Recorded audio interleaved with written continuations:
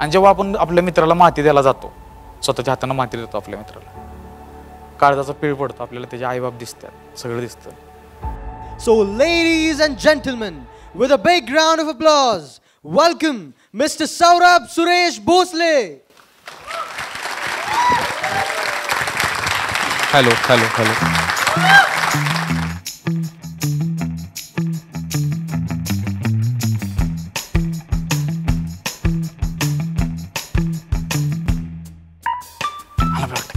आणि चुकून जर ते ऑपोजिट जेंडरनं म्हणलं ना अरे यार तुझ्यासोबत वाईट झालं आपल्याला वाटतं ऐक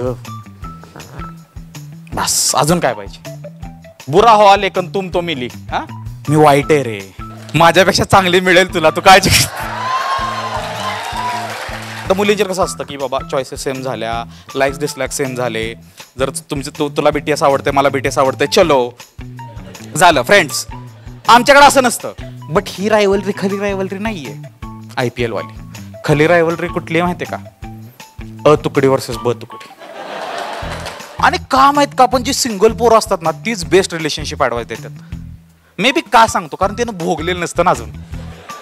मला आतापर्यंत एकही माणूस भेटला नाही आतापर्यंत एकही स्टुडंट भेटला नाही एकही व्यक्ती भेटला नाही जो माझ्याकडे मदत मागायला आलाय किंवा स्टोरी घेऊन आलाय आणि तेव्हा तो म्हणलाय नाही माझं चुकलं. कधी झालं का रे तुमच्यासोबत असं की तुम्ही मंदिरात गेलाय? आणि तुम्ही देवाची मूर्ती बघितली. चेहरा बघितला मूर्ती असं. आणि तुम्हाला हाय नाही तेवढं आयुष्यातलं सगळं आठवलं आणि रडाय डस डसडूस. ज्यांना खरंच प्रेमाची अटेन्शनची रिस्पेक्टची गरज असते ना त्यांना माहीत नसतं ते कसं मागायचं असतं. कधी कधी ते साऊंड करतात खूप डेस्परेट कधी कधी ते असं वाटतात की अरे हे कोण आहे व्यक्ती? काय आहे? कसा आहे? की लोक चालल्यात आयुष्यातनं. काय फरक पडतो? कोण काय पण म्हणतंय काय फरक पडतो? बरोबर? आहे? आणि मी खरं सांगतो मी जेव्हा रिस्पेक्ट करायला पाहिजे होता स्टुडंट म्हणून तेव्हा नाही केला पाहिजे. आता खूप रिस्पेक्ट करतो. कारण आई बाप सोडून शिक्षक एवढीच प्राजली होती ज्यांना खरंच आपली काळजी होती. खरंच. आणि आपल्या सगळ्यांच्या आयुष्यात ही वेळ येणार आहे.